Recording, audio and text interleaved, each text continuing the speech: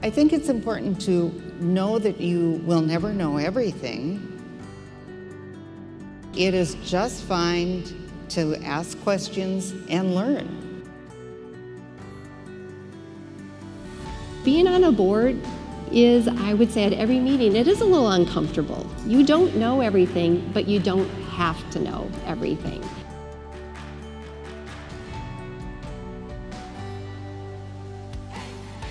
Each one of these opportunities connects the dots to something else in the future that you probably never thought possible.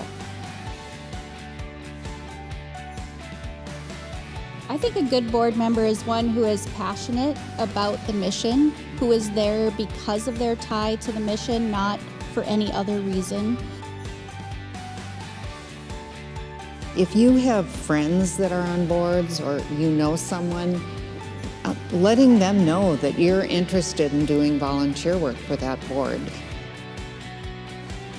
We always think we have to know the answers, but often being a good board member is asking a really good question. Wait a minute, right? I'm an educated woman. I have life experience too. I'm valued and I'm allowed to take up space and I am allowed to ask these questions.